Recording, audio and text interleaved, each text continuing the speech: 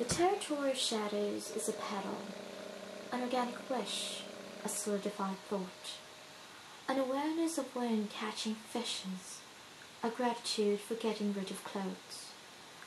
With a kind gesture of an evening, low tide and safe, I am sharing the water with a hundred islands. Floating on the galaxy's reflection, I float as the night sky carves down our embrace, an elusive feeling of eternity and floating, a gesture of wind and a bath of moonlight from the sea bottom. I am the salt in the evening. I am the celebration of beginnings. I, finally getting rid of my clothes. I, weightless without knowing what. Between the sky and me is the wind. There is an ageless consciousness of being a woman. There is a shapeless idea of being in the water.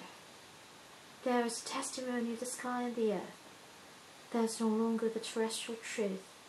I am no longer a victim of war.